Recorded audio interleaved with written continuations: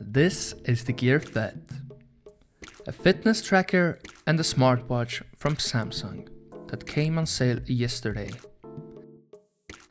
It only cost $200.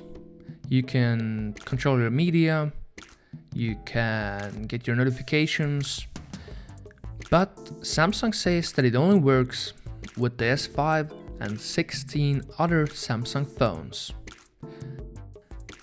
With a bit of reverse engineering, you can actually get it working with any other Android phone. You just first need to disconnect it from your, let's say, Galaxy S5.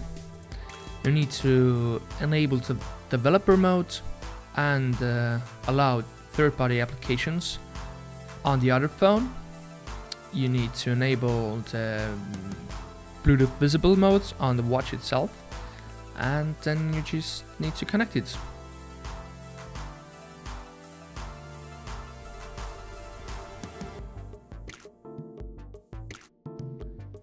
It takes a bit of time and error, but it works.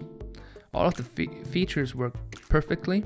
Your notifications, your media controls, find my device, everything.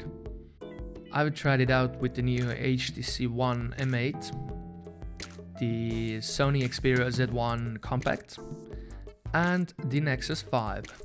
All of them work perfectly.